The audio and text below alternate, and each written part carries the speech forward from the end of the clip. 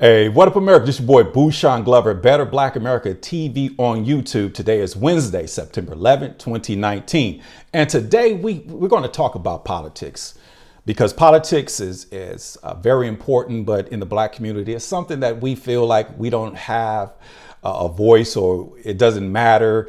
Uh, but we're going to have to change our tone because if we want things to change in our community, especially our urban communities, and therefore, we're going to have to get involved because the only way that resources uh, get funneled into communities is through politics. And uh, that's sad, but that's the truth. So we're going to have to start on a grassroots level moving forward from the city council to the our local elected officials in terms of Congress, so on and so forth. But we are uh, developing an independent brand outside of the two party system not the American Independent Party, but nonpartisan independents, NPP, no party preference voters, because uh, regardless of which administration is in office, we should still should be able to, you know, at least be a pawn on their chessboard because it's better to be on the board than to not even be on the board at all. So the question is, who we voting for? That's the question. Who are we voting for? Let me take some coffee, man. It's early in the morning on the West Coast. So, who are we voting for? Now, a lot of people, you know, really stay away from politics. A lot of people are, you know, the barbershops, the the community, they're talking. But when I ask this question, you know, people are dumbfounded. They, they sit back and say, oh, I, I don't know yet. So we don't know who we're voting for. So if that's the case, then how do we think that, you know, someone on the Democratic side can actually defeat Donald Trump? Now, me personally, I don't think, you know, if I was an odds maker, I would give Trump, you know, 100 to 1 odds that he will win. Because look what they got for us. Because trending in the polling, the number one, the number one person right now that they that the the projectors and the Democratic Party think that can actually beat Donald Trump is Joe Biden. And I'm gonna tell you what the black community think of Joe Biden. We call Joe Biden a slave master because Joe Biden, Joe Biden wrote the 94 crime bill. You know, he taught and told Hillary Clinton what to say to sell the bill, you know, that we're super predators and we need to be brought to heel. And we know without a shadow of a doubt that that bill decimated the communities of color and that community decimated our future when it comes to our leadership because when I came home from college wasn't nobody was there. So we were just pretty much led astray running amok and just did what we chose to do because there was no leadership because they locked up the crack addict they locked up the dope dealer and somehow you just got caught up. Okay back in those days they were just rounding us up. And when you look at the percentage of blacks in this country some you know I would say on average 13 percent and slash that in half and 6% being men. And then we make up 40% of the prison population. And then we're promoting a pride and a gay movement. So we're not reproducing. So this is, you know, that be, was a part of the genocide movement. And that's what the, the trouble is moving forward. So we got to get back to family. You know, we got to get, you know, we got to we got to heal from from from our our endeavors from post traumatic slave disorder, from the crab bucket syndrome, because we have to to survive. We have to convince black men to reproduce with black women and make babies, and help the next generation moving forward. Like Frederick Douglass said, it's better to bring uh, to be to build strong children than to rebuild broken men. So I don't know if if the black community will rally you know, around the slave master. And I'm just basically saying what the just word on the streets, what the streets are, what the streets are saying. Uh, slave master Joe Biden and, and uh, President Trump calls him Sleepy Joe. Now Bernie Sanders, Bernie Sanders got great ideas, but people got to understand what socialism is. Socialism is the first phase to communism. Okay. Now I saw that uh, Joe Biden, I mean not Joe Biden, but Bernie Sanders. Well, sat down with Cardi B, but Cardi B don't understand. As hard as she works, and and her husband Offset, as hard as they they work, I'm not sure if that was her husband's name, but as hard as they work, the money that they receive. If, if we became a socialist society, that they will take your money and give it to people that didn't work as hard as you and, and not deserving to have that. So socialism will never rock because socialism will destroy any form of generational wealth. So the Bible says a good man leaves his children's children's an inheritance. But when you talk about socialism, no, you know, they want to take from the rich and give to the poor, but we want to teach a man how to fish.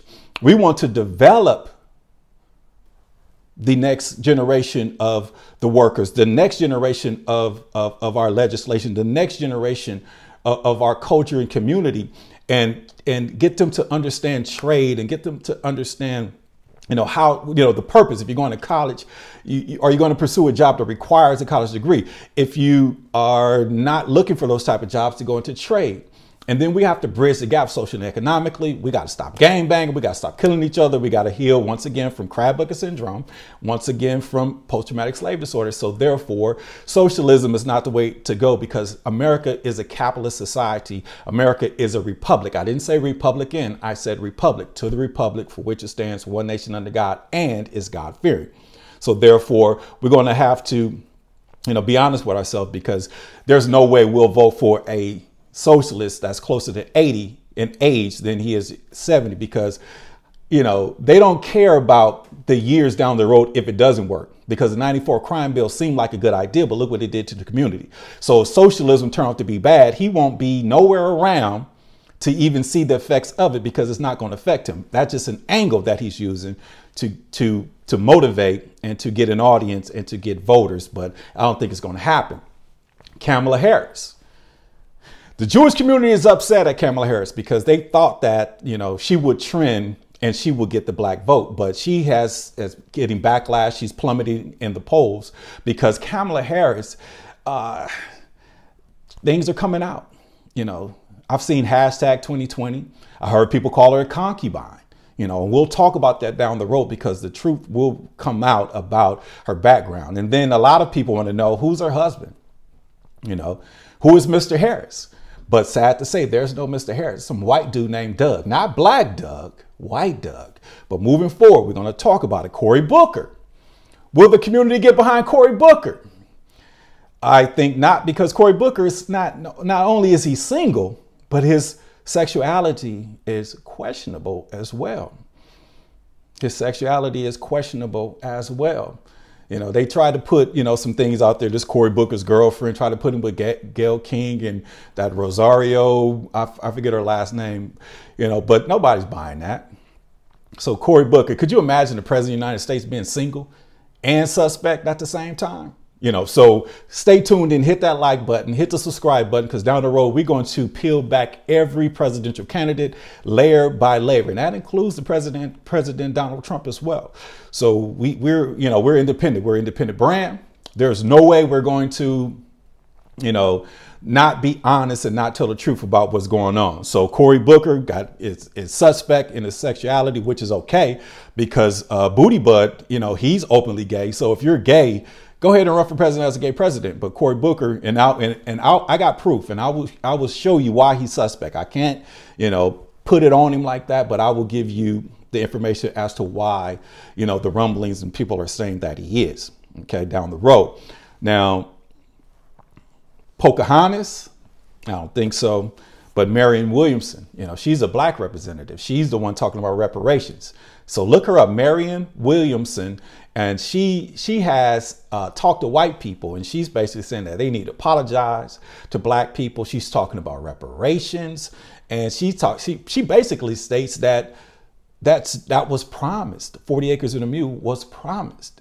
So, but we're going to uh, down the road. We're really going to um, look at these candidates under a microscope, and we're going to be fair and honest because right now we're living in times of deceits and just basically merely telling the truth is revolutionary during the times of deceit. So who you voting for? Go ahead and comment, you know, uh, say whatever you need to say, give me the links, whatever, because we're going to be um, having our own town hall meetings moving forward. And we're going to talk about the black condition and we're going to talk about black reconstruction of how we're going to uh, bridge the gap socially and economically in America without asking, you know, for handouts. Okay, so that's how it's going to be moving forward. So today is Wednesday, uh, September 11th, 2019. Exactly 18 years ago, uh, the 9/11 attacks happened, and you know, much respect to people that lost their lives and that's still um, going through issues based on uh, what happened uh, exactly 18 years ago today. So with that being said, have a great day. A better Black America. I'm your boy Bushion Glover signing out. Have a good day.